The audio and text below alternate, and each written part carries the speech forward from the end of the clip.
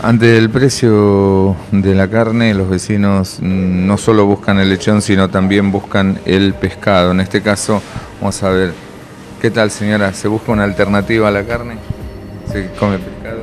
Y sí, que va Más económico, más económico, es verdad. más sano. Más sano, pa- hace muy bien a la salud. ¿Cómo lo va a preparar? Lo voy a preparar con así enrolladito, con ají, todo verdura al vapor. Muchas gracias. Muy amable.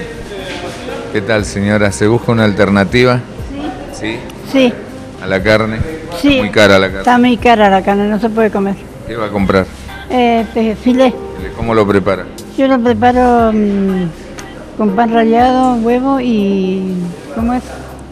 Después lo hago la plancha. Sale, y todos les gusta. Sí, sale rico.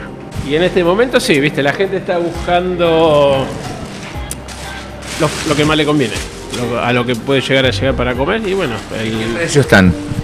y el pescado te arranca de 55 pesos el kilo.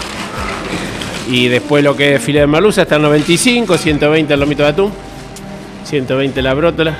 Una oferta de corvina. Corvina, dos corvinas, 85 pesos. Y más o menos estás en un kilo y medio con las dos corvinas. Que para hacerla al horno o la parrilla te sale bien. ¿Dos corvina cuánto? 85 pesos. La gente busca mucho eso. Sí, sí, sí, lo están llevando para la parrilla y todo, y ahí lo hacen al horno, así que bueno. Eh, Filé de merluza 95 pesos el kilo, sin espinas, sí, sí. rinde, ¿no? Y rinde, sí, con un kilo te comen cuatro personas. Es un puré.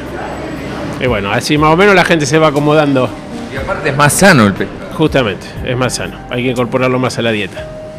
Es una buena alternativa a la carne, ¿no? Sí, sí, una buena alter- alternativa. Después tenemos los sábalos, 55 pesos el kilo. ¿El sábalo? El sábalo, 55, el patí 75. ¿Se lo puede hacer al horno o a la El parrilla? horno puede hacer a la parrilla, lo puede hacer frito.